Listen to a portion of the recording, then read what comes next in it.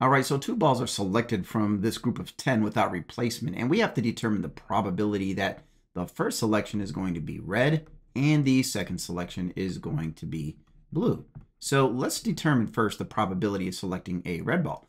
Now there are 10 balls in total, so that is our denominator, and out of those 10, five of them are red. All right, now let's assume that we were successful on this first selection, that we actually did select a red ball. That means on the second selection, there are a total of nine balls left, and out of those nine, five of them are blue. So what we have to do now is just multiply these two fractions together to get the probability of selecting a red and then a blue.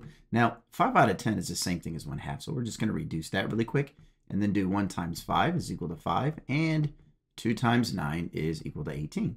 So the probability of selecting first a red and then a blue is 5 out of 18 which is a decimal, is approximately equal to 27.8%, rounded to the nearest tenth of a percent.